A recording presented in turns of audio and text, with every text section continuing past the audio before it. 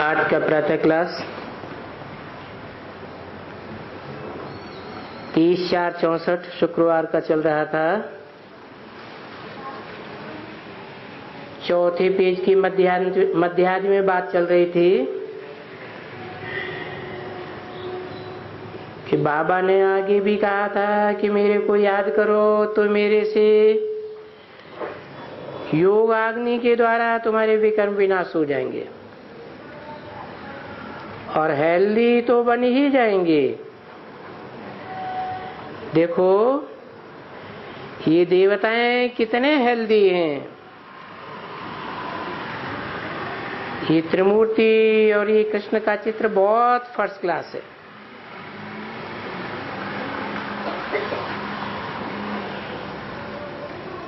परंतु मनुष्यों में कृष्ण के लिए मुझान है। तो ये चित्र सबसे अच्छा है। और अच्छे तो ये सभी चित्र हैं। परंतु ये चित्र समझाने में कुछ इजी है।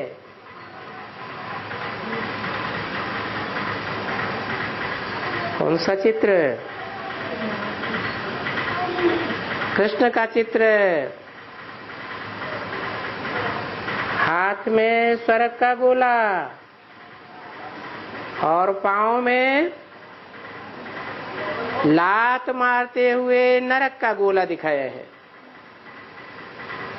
कृष्ण को। अभी देखो ये ब्रह्मा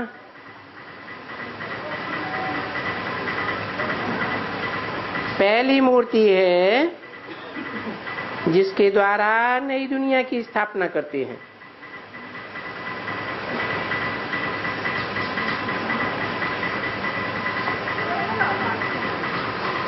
तो क्या ब्रह्मा द्वारा नई दुनिया की स्थापना हुई? है? फिर क्या झूठ बोला? है? ब्राह्मणों की नई दुनिया की स्थापना हुई। दुनियावी जो ब्राह्मण हैं, वो पुरानी दुनिया के हैं। और नई दुनिया की पालना करने के लिए ये विष्णु बैठा हुआ है।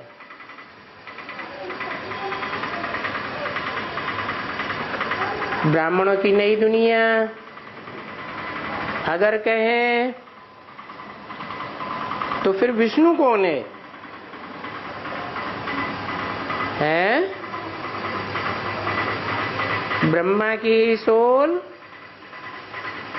मनुष्य सृष्टि के बाप में भी प्रवेश करती है।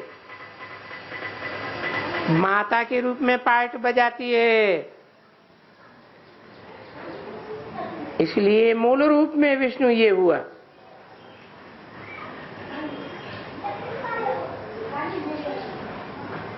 तो देखो त्रिमूर्ति में बाई ब्रह्मा, उससे ये स्थापना होती है।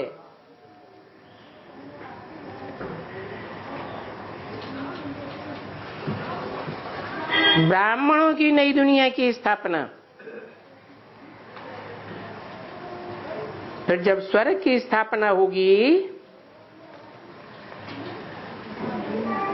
तो ये जो शंकर है, ये प्रेरणा करके सबका विनाश करता है।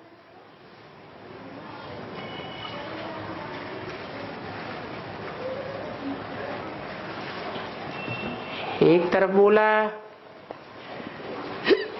कि शंकर क्या करता है, कुछ भी नहीं करता।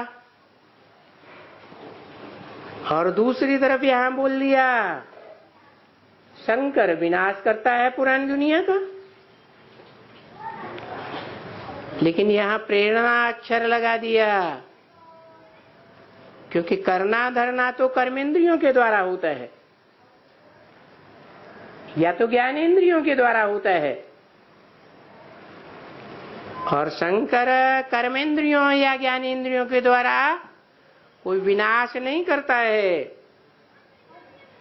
कहते हैं, तीसरा नेत्र खोला और विनाश हुआ।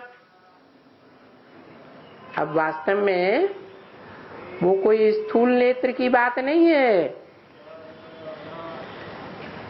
ये तो आत्मा का तीसरा नेत्र है। जो संपन्न बनता है, और शंकर की प्रेरणा से विनाश होता है।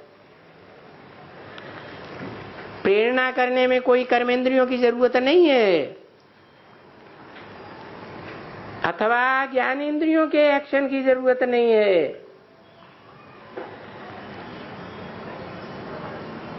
ये तो मन के वाइब्रेशन की बात है।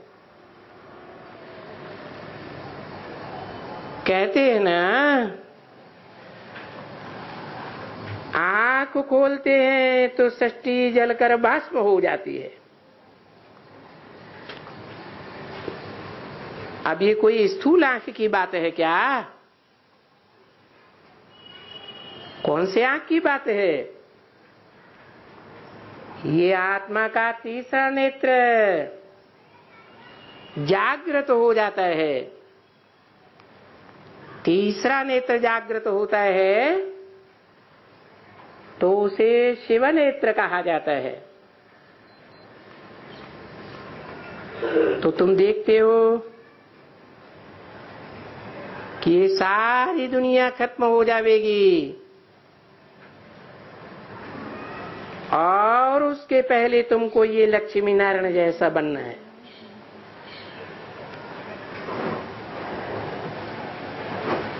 फिर ये बनो, या इनकी प्रजा बनो।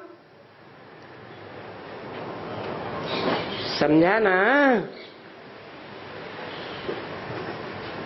क्योंकि सभी तो नहीं लिखते हैं। बाबा को चिट्ठी में भी लिखते हैं कि हम सभी थोड़े ही लक्ष्मी नारायण बनेंगे।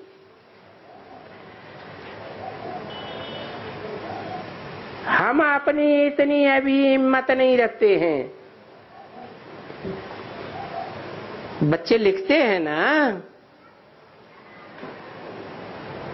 हम तो फिर प्रजा में ही अच्छा रह सकते हैं।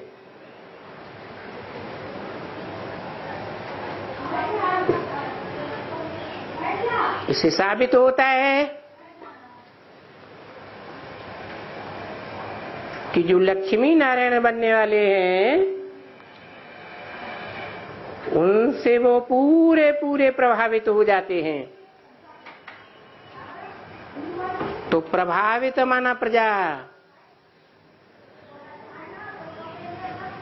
फिर कहते हैं, इसके लिए आप जो कुछ भी हमको बोलो। हम तो प्रजा में ही आवेंगे। अब बोलने की तो कोई दरकार ही नहीं है। वो तो समझ आनी चाहिए कि वहाँ चाहिए तो चलो। जो कुछ भी है, अपना बीज बोते जाओ। तन से, मन से, धन से बीज बोएँगे तो फल आवेगा ना। कहा भी जाता है यहाँ तो एक देवे तो लाख पावे।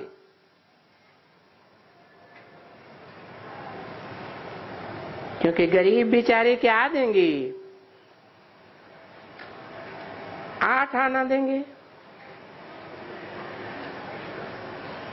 तो गरीब लोग बाबा के पास आठ आना बेच देते हैं कि बाबा, हमारी भी एक ईंट लगाए देना। पीछे तो हमको मिलेगा ही। तो उनको हम लिख देते हैं कि तुम्हारी ईंट, जिन्होंने हज़ार रुपया दिया, उनको जो मिलने का है, और तुमने ईंट के लिए जो आठ आना दिया तो तुम्हारा और उनका बाबा के पास हक एक ही हो जाता है। तो देखो उन गरीबों को कितनी खुशी होती है। क्योंकि बाबा गरीब निवास तो है ना। वो सभी राज बतला देते हैं। अभी बलच, बलि चढ़ना है। बाबा ने समझाया है, मम्मा ने बलि चढ़ी। तो ये दृष्टांत हो गया। मम्मा, कुछ पैसा तो नहीं लाई थी? आठ आने भी नहीं लाई थी। तो मम्मा से पूछ लो कि मम्मा, आपने कुछ दिया था क्या? नहीं, कुछ भी नहीं दिया। और कन्याओं के पास तो कुछ लेना ही नहीं है ना।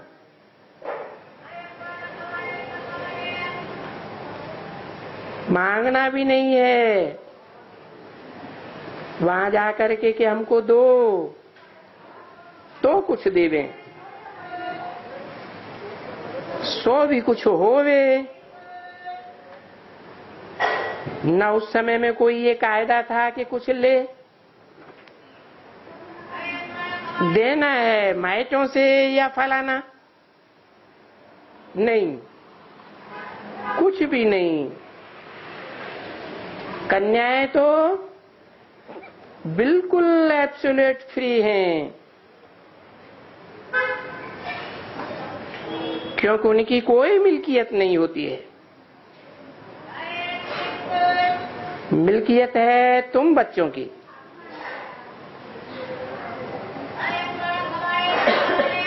उत्तराधिकारी बच्चे बनते हैं। क्या मतलब? कन्याएँ उत्तराधिकारी नहीं बनेंगी? हैं? अरे, बाबा के वर्षे का उत्तराधिकारी कन्याएँ नहीं बनेंगी क्या? है? नहीं बनेंगी? अरे यहाँ तो बोला। उत्तराधिकारी बच्चे बनते हैं, बच्चियाँ नहीं। क्या बोला?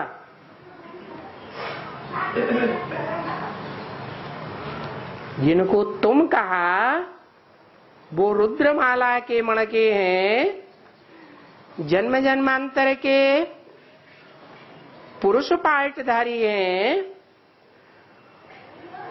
पुरुषत्व का उनमें गुण ज़्यादा है, या स्त्रीत्व का गुण ज़्यादा है, जिनको बाबा पढ़ाते हैं हैं? पुरुषत्व के गुण हैं। इसलिए वो बच्चे हुए बाबा की दृष्टि में, या बच्चियाँ हुई, हैं? बच्चे हुए। कन्याएँ कुछ भी नहीं देती है। ये कौन सी कन्याओं की बात है? है? अरे विजयमाला से जो आएँगी,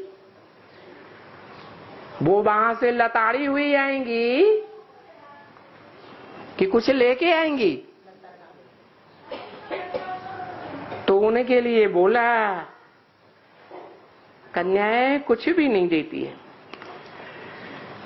पढ़ती रहती हैं। और अगर अच्छी तरह पढ़ती रहती हैं तो गवर्नमेंट उनको खिलाती पिलाती भी रहती है। तीस चार चौसठ की वाणी का पांचवा पेज। खिलाते खिलाते उनको सर्विसेबल बनाए देते हैं। देखो, कितना ऊंच पद है। बरोबर ऊंच पद। देखो, जिसने सब कुछ दिया, तन, मन, धन, उनसे भी उनका नाम बाला हो जाता है। किसकी तरफ़ इशारा किया? है? अरे,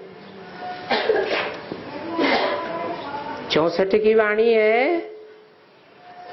उस समय तक तन, मन, धन सबसे जास्ती किसने अर्पण किया?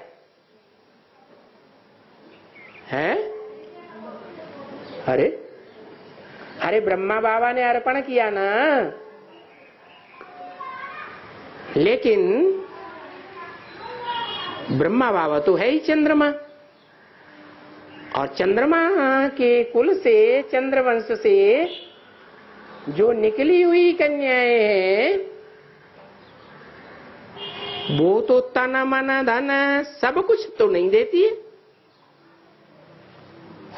ब्रह्मा बाबा ने तन मन धन सब दिया। तो ब्रह्मा बाबा को ऊँचे पद मिलता है, या उन कन्याओं को मिलता है, जो चंद्रवंश से आती हैं और सूर्यवंशी बन जाती हैं।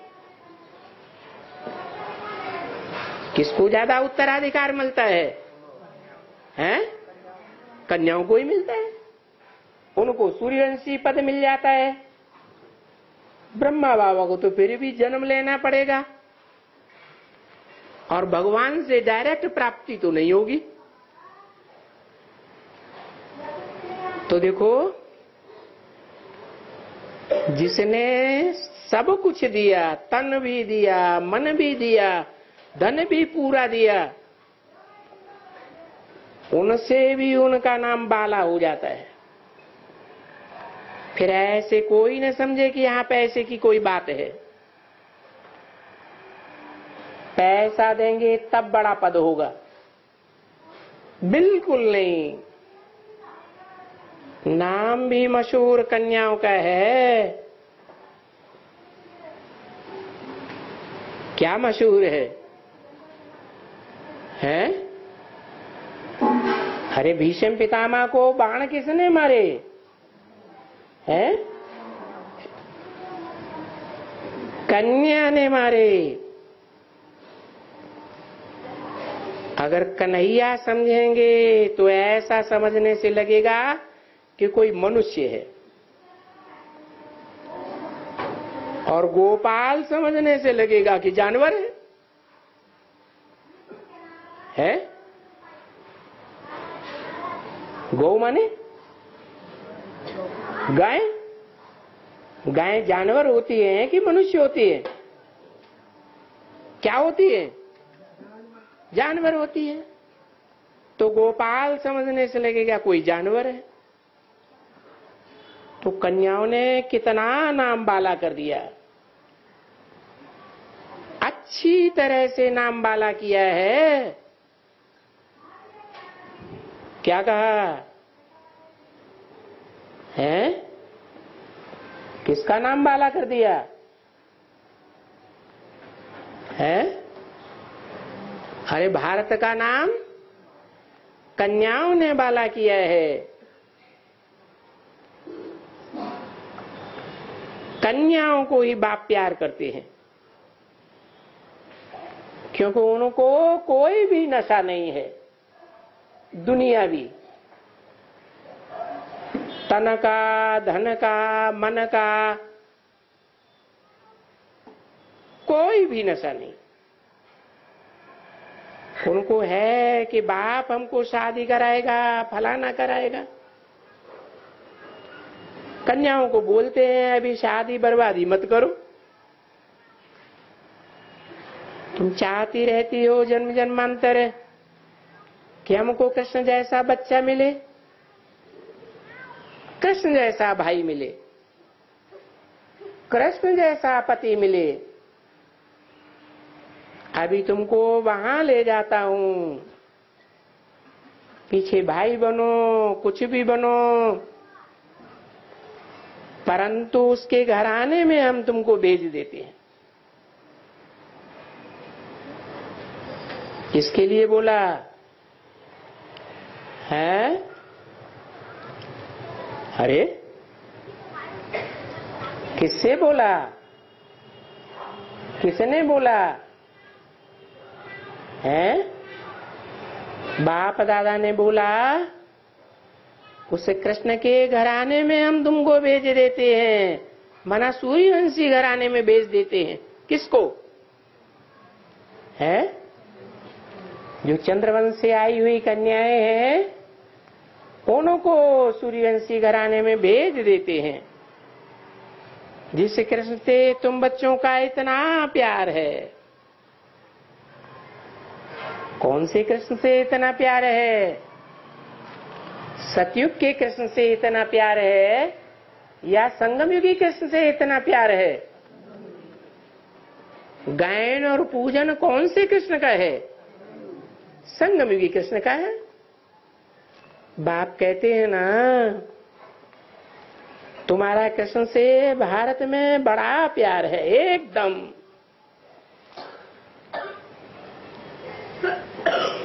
जानती कुछ भी नहीं हो। किससे बोला? है? जानती कुछ भी नहीं हो। चौसठ की बात है। है? उस समय जो भी कन्या यज्ञ में थी, वो जानती थी कि श्री कृष्ण की बात हो रही है। है? नहीं। श्री कृष्ण पहले नंबर का प्रश्न और वो स्वर्ग का मालिक। और स्वर्ग का मालिक फिर द्वापर युग में तो हो ही नहीं सकता। है? क्यों नहीं हो सकता? है? क्योंकि द्वापर युग है, आठ कला संपूर्ण। और सतयुग होता है, सोलह कला संपूर्ण। द्वापर कहा ही जाता है, जब द्वैतवादी युग है। दो दो धर्म है दो दो कुल है दो दो मते हैं। हर बात में द्वैतवाद चल पड़ता है। तो ऐसे द्वैतवाद में सोलह कला संपूर्ण कृष्ण कैसे होगा? स्वर्ग का मालिक तो अभी तुम बच्चों को मालूम है। और तुम जानती हो कि बरोबर अभी हम स्वर्ग का मालिक बनने के लिए, जाने के लिए, क्योंकि हम याद करती थी ना। वो कृष्ण में खुद भी हमारे साथ पढ़ रहे हैं। पढ़ाने वाला शिव बाबा है। वो जो कृष्ण था, जिसके घराने में हम देवता थे, सो फिर क्षत्रिय वैसे शूद्र बने, अभी हम भी पढ़ रहे अभी तुम जान गए हो ना? जैसे कि हम जो सभी देवताएँ थे, लक्ष्मी नारायण, और जो भी हम सभी देवताएँ राज्य करते थे, वहाँ प्रजा थी इस समय फिर से बाप आकर के वो ही राजधानी स्थापन कर रहे अभी तो बुद्धि में अच्छी तरह से आकर बैठा हुआ है। ये भी तुम अच्छी तरह से चित्रों में समझा सकती हो। और चित्रों में तो बिल्कुल समझ अच्छी है। जबकि बाबा कहते हैं सर्वसेबुल बनो राय दी है ना? गृहस्थ व्यवहार में रहते हुए भी तुम यहाँ सेंटर खोल दो और बोर्ड लगा दो। बोर्ड के लिए बाबा बहुत किस्म के नमूने बताते रहते हैं।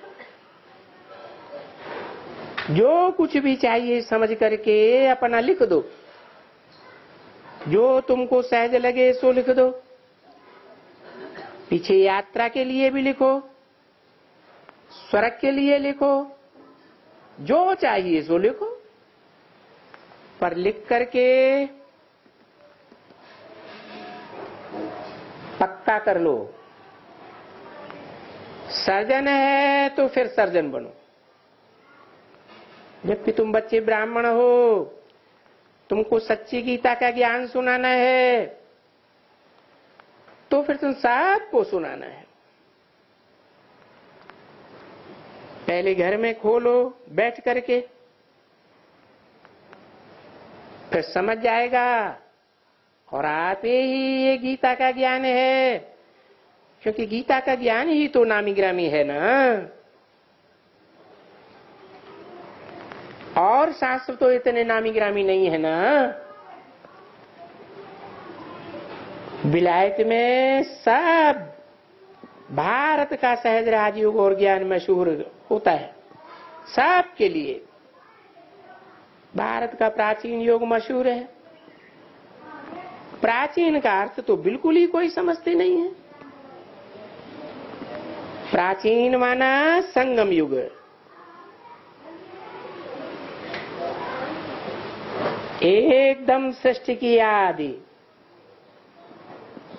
देखो, है ना? आदि सनातन धर्म।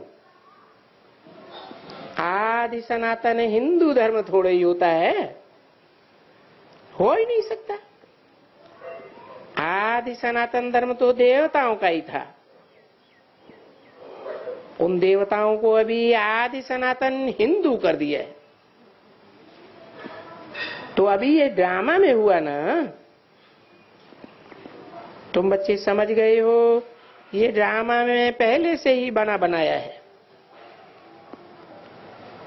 ये सभी ऐसे ही हिंदू बनेंगे। पीछे ये अपन को देवी देवता नहीं कहला सकेंगे। क्योंकि ये देवताएँ धर्म भ्रष्ट और कर्म भ्रष्ट हो गए हैं। यानी हम जो देवताएँ थे, जो पवित्र प्रवृत्ति मार्ग वाले थे, वो पतित बन गए हैं। देवताएँ तो धर्म श्रेष्ठ थे। पावन थे। और अभी हम पतित हैं। तीस चार चौसठ की वाणी का छठा पेज।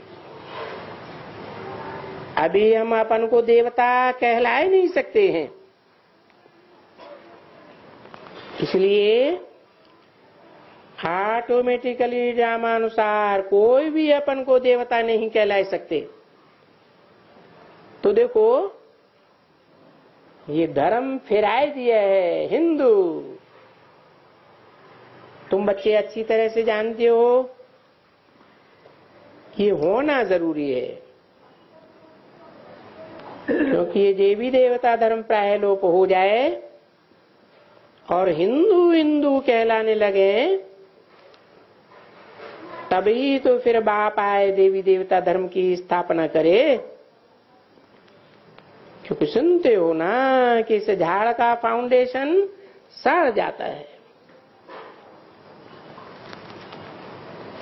तो अभी तुम जानते हो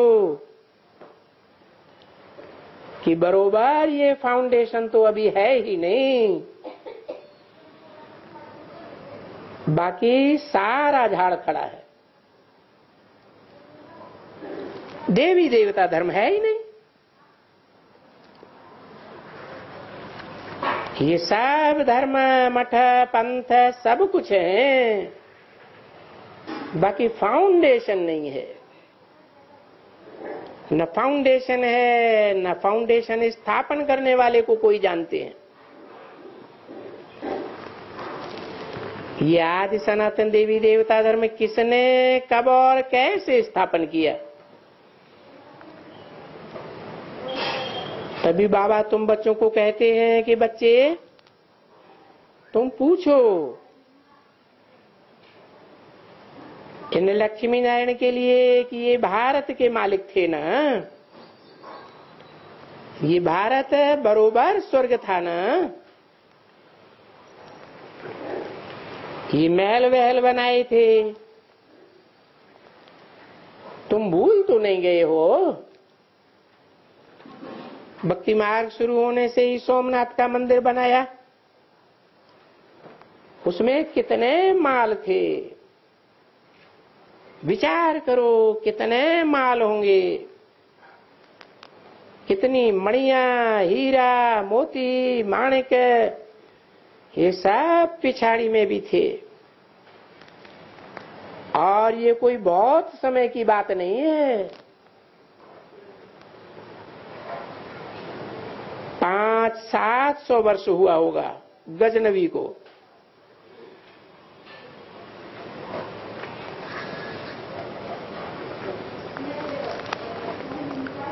हाँ भाई, बताओ। कितना वर्ष हुआ है? बाबा ने तो अंदाज से बता दिए। फिर पूछा, कितना वर्ष हुआ है? कितना वर्ष हुआ? अरे, गजनबी की तो हिस्ट्री है ना। कितना वर्ष हुआ? तुम जानते हो? तुम तो स्कूल में हिस्ट्री पढ़े हो ना? थोड़ा यहाँ भी तो ये पढ़ते रहते हैं ना? ये फिरंगी साहब लोग तो पीछे आए हैं। वो भी यहाँ से कितने माल लेकर गए हैं? उन्होंने तो अपनी स्त्री मरी, उसकी मस्जिद बनाई उसमें भी हीरे मोती लगाए दिए। बुद्धि तो कहनी चाहिए कि भारत क्या था और अब क्या है। कितना वर्ष हुआ? अरे, सो भी आजकल सब कहते हैं थ्री थाउज़ेंड बिफोर कैस्ट बिल्कुल ठीक कहते हैं। अच्छी तरह से समझते हैं इनके आगे पहले एकदम पैराडाइज था। वो कहते भी हैं कि three thousand before Christ Bharat में पैराडाइज था। यानी हेवन था। एकदम शुरुआत थी। तो शुरुआत भी हेवन चली। तो सही कहेंगे ना, ज़रूर। तो अभी ये बात युक्त युक्त तुम बच्चों की बुद्धि में बैठी है। अभी ये बातें दिल में रख करके, और तुम फच्चे कहते हो, हम सर्जन हैं तो हॉस्पिटल खोलो। अगर हॉस्पिटल नहीं खोलते हो तो बाबा कहेंगे कि अभी तक तुम वो ही पुराने हज्जाम के हज्जाम। बाबा तो कह देंगे, तुम गीता ही नहीं सुनाते हो। नहीं सुनाते हो गीता तो फिर हजाम हुए ना? मतलब क्या करना चाहिए? है? भारत का मुख्य ग्रंथ कौन सा है? सर्वोत्तम ग्रंथ। गीता है ना? गीता की तो बहुत मान्यता है। यज्ञ के आदि में भी काय का अर्थ बैठ करके सुनाते थे। गीता का ही अर्थ बैठ करके सुनाते थे। जो आदि में सोई अंत में होना है तो हज्जाम नहीं बनो। नहीं तो बाबा सहज बताते हैं, घर में हॉस्पिटल खोलो। इसमें लज्जा वज्जा की कोई बात नहीं है। जब सुनेंगे तो आप ही आवेंगे। कि यहाँ तो गीता को क्लियर करके समझाया जाता है। धीरे धीरे आ जाएँगे। समझ करके घर वालों को अच्छी तरह से बैठ करके समझाओ। क्या समझ करके? है? गीता के जो सही अर्थ हैं, ईश्वरीय ज्ञान के अनुसार उन अर्थों को अच्छी तरह से समझ करके फिर अपने घर वालों को समझाओ। पहले घर वालों को संगठित करो। क्या नियम है? पहले घर का सुधार, फिर पर का सुधार। बाबा ने भी बता दिया है तुम्हारे परिवार के सब सदस्य आगे चल करके चलेंगे। तो बात बिल्कुल सहज है। ये तो तुम समझे हो कि सभी समझ करके राजा रानी नहीं बनेंगे। थोड़ा भी हम समझाएँगे तो सूर्यवंशी प्रजा में तो आवेंगे ना। क्या? सूर्यवंशी प्रजा में आना अच्छा? या इस्लामी बौद्धी क्रिश्चियन वंशी प्रजा में आना अच्छा? ये तुम समझे हो कि सभी राजा रानी नहीं बनेंगे। फिर भी पहली जनरेशन की प्रजा में आ जाना अहो सौभाग्य क्या? पहले नंबर की जो प्रजा होगी, पहली पीढ़ी की जो प्रजा होगी उस प्रजा की क्या खसूसियत होगी? है? जो और प्रजाओं में नहीं होगी। चाहे वो सतयुग की प्रजा हो, चाहे त्रेता की प्रजा हो, चाहे द्वापर में किसी धर्म संप्रदाय में कन्वर्ट होने वाली प्रजा हो, कोई भी हो, पहली पीढ़ी की जो प्रजा है, वो सब ज्ञानी तू आत्माएँ होंगे। यानी बैकुंठ में आने वाले होंगे। यहाँ देखो, सब प्रकार के मनुष्य मरते हैं। सिख मरेगा तो भी क्या कहेंगे? लेफ़्ट फॉर हेवनली रोड वो तो हद के मरने की बात है। बात कहाँ की है? वो सिख आदि मरते हैं तो क्या हेवनली अबोर्ड में जाते हैं? कि ऐसे ही कह देते हैं? कह देते हैं, जाता तो कोई भी नहीं। तो गायन कहाँ का है? ये यहाँ संगम युग का गायन है कि जो भी जीते जीते अभिमान से मरेंगे, वो कहा पहुँचेंगे? हैं? हेवनली अबोर्ड में पहुँचेंगे। अंग्रेज़ी में भी ऐसे कह देते हैं ना लेफ़्ट फॉर हेवनली अबोर्ड तुम कहेंगे, स्वर्गवासी हुआ ज्योति ज्योति समाया ये सन्यासी लोग कहेंगे। तो ज्योति ज्योति समाया सन्यासी जो कहते हैं, उसका अर्थ समझते हैं वो। वो तो अर्थ नहीं समझते। ज्योति का मतलब क्या हुआ? है? है? ज्योति मना ज्ञान की ज्योति। क्या?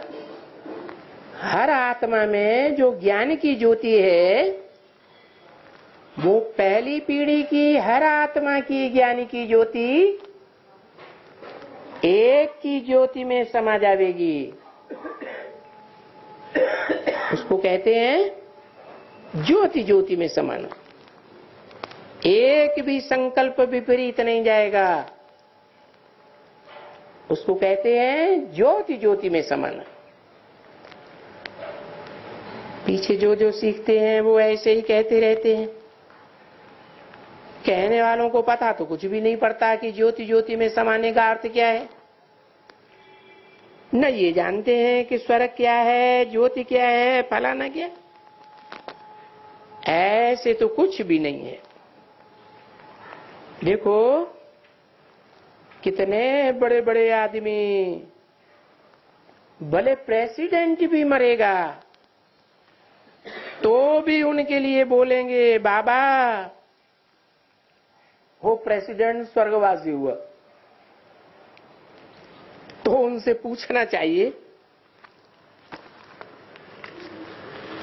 क्या यहाँ नरक में था?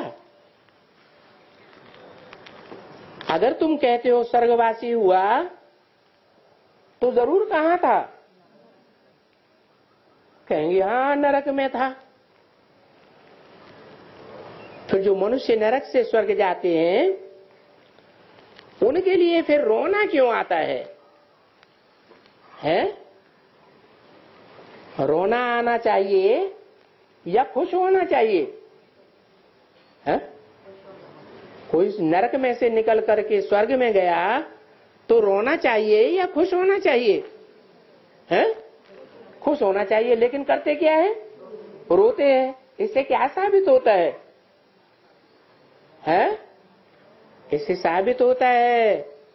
ये जो कहते रहते हैं, स्वर्गवासी हुआ स्वर्गवासी हुआ, कोई भी इस समय स्वर्गवासी नहीं होता। ये तो इस समय संगम युग की बात है। जब बाप आकर के नरक से स्वर्ग में ले जाते हैं, तुमको तो ताली बजानी चाहिए, हंसना चाहिए। जो तुम्हारे सामने बोलते हैं, स्वर्गवासी हुआ। अरे, स्वर्गवासी हुआ तो क्यों रोते हो? अरे, फिर स्वर्ग में तो बस बात ही मत पूछो। स्वर्ग में जो वैभव मिलते हैं, वो वैभव तो नामी ग्रामी है। तुम फिर बैठ करके नरक की ये प्याज, मछली, अंडा, ये क्यों खिलाते हो? बंगाल में मछली ज़रूर खिलाते हैं। किनको? जो शरीर छोड़ जाते हैं, उन आत्माओं को बुला करके ब्राह्मण में मछली ज़रूर खिलाएँगे। कहा की रसम है? हैं? बंगालियों की रसम है। गए स्वर्ग में। और फिर उनको मंगा करके मछली खिलाते। अंडा भी ज़रूर खिलाते हैं। तो जो विवेकानंद था ना? अरे ऐसे विवेकानंद जैसे बहुत हैं, जो बोलते हैं, ये खाने में कोई पाप नहीं होता है। क्या? है? अंडा खाने में, मछली खाने में कोई पाप नहीं होता है। उस अंडे में कोई जानवान थोड़ी ही होती है? होती है या नहीं होती है? हैं? आजकल जो मुर्गी पालन केंद्र बने हुए हैं, उनमें मुर्गियाँ जो अंडा देती हैं, उनसे बच्चे पैदा नहीं होते हैं। तो जब बच्चा पैदा ही नहीं होना है तो उसमें जान कहाँ से आवेगी? ऐसे ऐसे बोलते रहते हैं। गुरु ने बोला तो बस सत्य वचन महाराज। जो कुछ कहो सत्य वचन महाराज। सीता चुराई गई सत्य वचन बंदरों की सेना ली सत्य वचन समझा तो?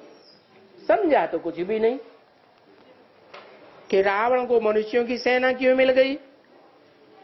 और राम को भगवान होते हुए भी बंदरों की सेना क्यों लेनी पड़ी?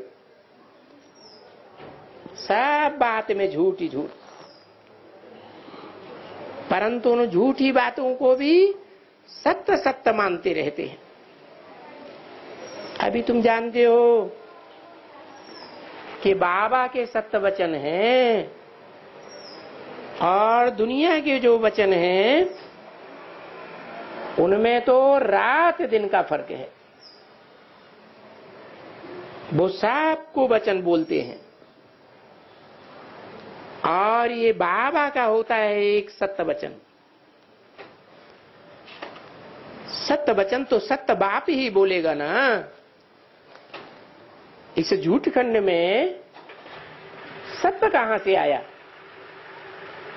बाप तो सत्य धाम से आते हैं तो सत्य बात ही बतलाते हैं। तो देखो, सत्य बाप के संग से कुछ ज्ञान का रंग भी लगेगा ना? तो अभी तुमको सत्य के संग से ज्ञान का रंग लग रहा है। तो सत्य संग तारे, कुसंग बोरे। अभी इस सारी दुनिया में सत्य तो एक ही हुआ ना? बाकी तो सब पतित भ्रष्टाचारी है। अभी बताओ, उनका संग करें या इनका संग करें?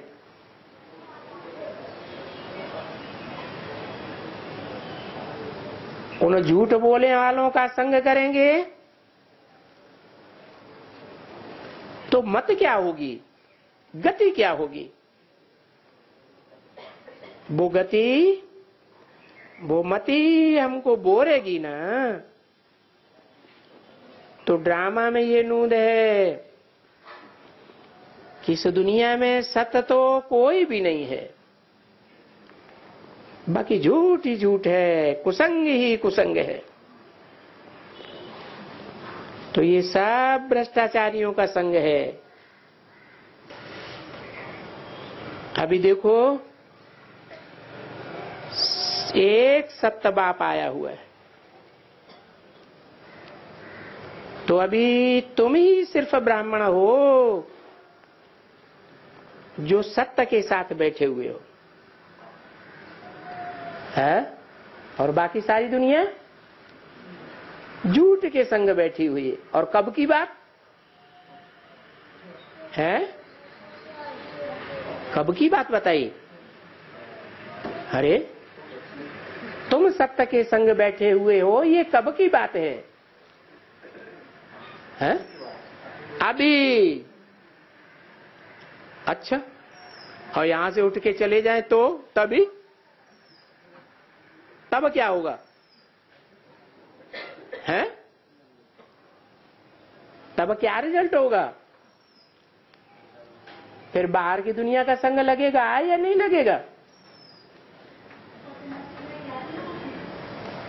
तो देखो। अभी तुम कहेंगे कि हम सत्य की पूरी औलाद हैं। पोत्रे पोत्रियाँ हैं। अभी तुम बाप के घर में बैठे हो ना। तुम जानते हो, ये मम्मा बाबा हैं। ये गुप्त मम्मा है। कहते हैं ना, गुप्त गंगा। वो त्रिवेणी भी होती है ना। तो उनमें दो गंगाएँ दिखाते हैं। एक को गुप्त दिखलाई देते हैं। किसको? है? कहा होता है त्रिवेणी संगम है हाँ इलाहाबाद में क्या नाम दिया? अल्लाहाबाद अल्लाहाबाद में जो त्रिवेणी संगम दिखाते हैं। उसमें कौन सी नदी गुप्त दिखाते हैं? है? सरस्वती नदी गुप्त दिखाते हैं। कहते हैं, वो गुप्त गंगा है। तो बरोबर यह गंगाएँ बहुत हैं, परंतु ये तो फिर गुप्त है। ये ब्रह्मपुत्री है ना, कौन? है? कौन ब्रह्मपुत्री है? अरे, सरस्वती किसकी पुत्री थी? ब्रह्मा की पुत्री थी तो नाम रख दिया। ब्रह्मपुत्री। परंतु वो तो शरीर छोड़ गई। है? तो शरीर छोड़ गई तो इसी दुनिया में है। या पार चली गई। है तो इसी दुनिया में। और इस दुनिया में भी रह करके किसी में प्रवेश करके पार्ट बजाती है या नहीं बजाती है? हैं? जो पार्ट बजाने वाली नदी है, सरस्वती नदी, जिसको पहले ओम राधे कहा जाता था, वो छोटी मम्मा है ना? छोटा बाबा है तो मम्मा भी छोटी होनी चाहिए ना? तो वही छोटी मम्मा। फिर एडवांस में भी छोटी माँ में प्रवेश करती है। कौन है छोटी माँ? है? अरे, कौन है ब्रह्मपुत्री नदी जो ऊँची ऊँची स्टेज में बहती है? मैदान में गंदा बनने के लिए नहीं आती है। पवित्रता की ऊँची स्टेज में बहती है। है? कौन है? हैं? छोटी मम्मा। बड़ी मम्मा भी है। कौन? बेसिक में ब्रह्मा, मने बड़ी माँ। तो एडवांस में जगदम्बा, सारे जगत की माँ, उससे बड़ी माँ तो कोई होती नहीं। तो वो भी ब्रह्मा। बेसिक में जो ब्रह्मा है, वो दाढ़ी मूछ वाला। उसके मंदिर नहीं बनते हैं। पूजा नहीं होती है, मूर्तियाँ नहीं होती। परंतु वो ही ब्रह्मा, जो बड़ी मम्मा थी, जब एडवांस में प्रवेश करती है कोई माता में तो उसके मंदिर भी बनते हैं। पूजा भी होती है, मूर्तियाँ भी बनती हैं। तो देखो, ये है छोटी मम्मा, जिसे ब्रह्मपुत्री कहा गया। सबसे बड़ी गंगा, फिर ये गुप्त। तो गुप्त ऐसे कहते हैं तो वो भी ऐसे ही कहते हैं, गुप्त तीन है, दो है, दूसरी एक, तीसरी गुप्त गंगा। तो गंगा को ही कहते हैं।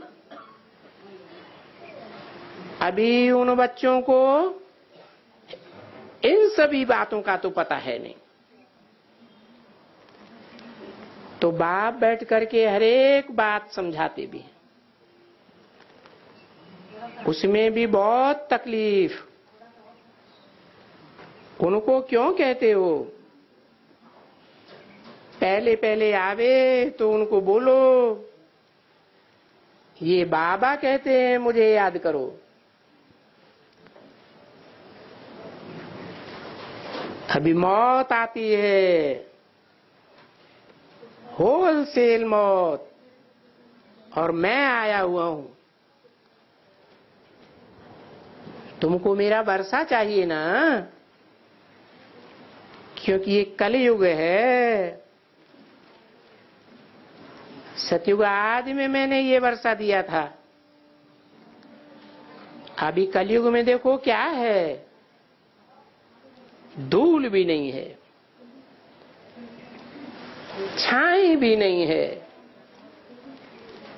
पैसे ही नहीं है, कौड़ी नहीं है।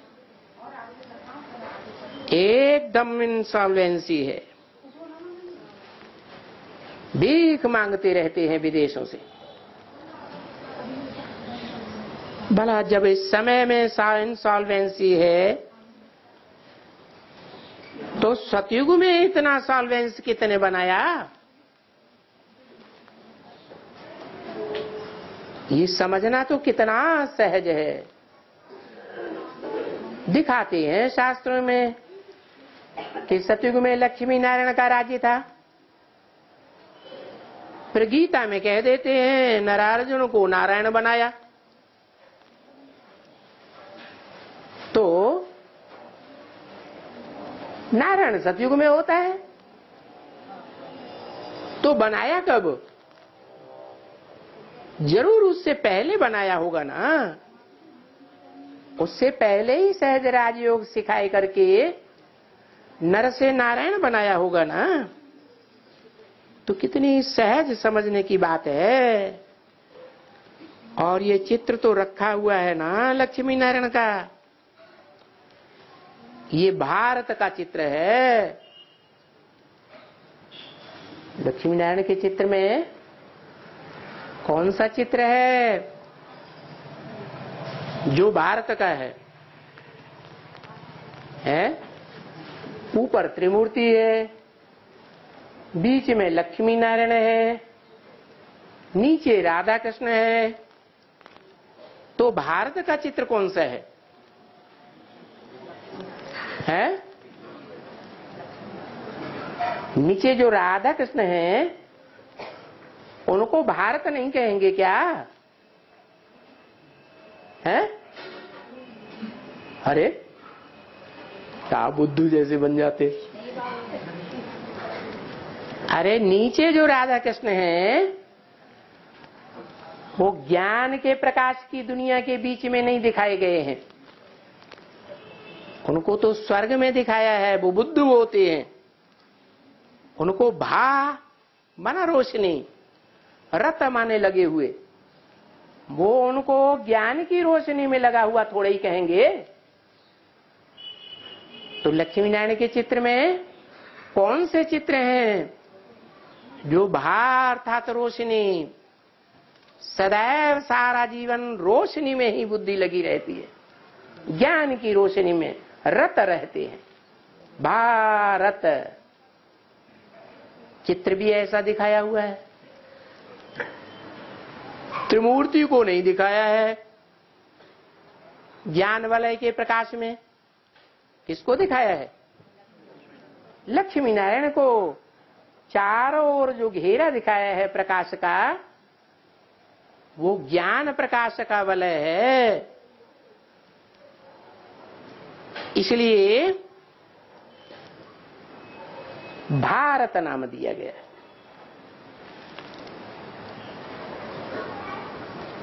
तो ये भारत का चित्र है। भारत में बरोबर सूर्यवंशियों का राज्य था। तो सूर्यवंशी, चंद्रवंशी, वैश्यवंशी और फिर शूद्रवंशी। अभी सूर्यवंशियों का हाल यही है। तो तुम लोगों के पास चित्र भी है और बुद्धि से भी काम दे सकते हो। तुम बच्चों को बाबा का डायरेक्शन है। अगर तुमने सेंटर्स न खोले तो मैं नहीं समझूँगा कि तुमने कोई यहाँ इम्तान पास किया या कुछ पढ़ाई पढ़ी है। हाँ कहेंगे कि वेस्ट ऑफ़ टाइम किया।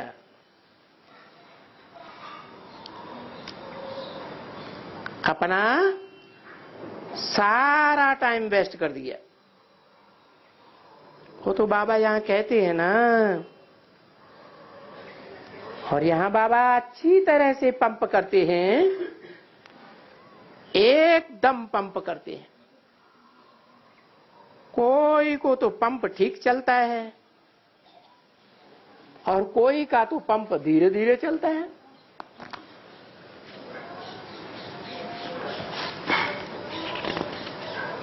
बहुत कमती चलता है। कोई का तो पंप जैसे फुस होकर के रह जाता है। जैसे कि सारी हवा निकल जाती है।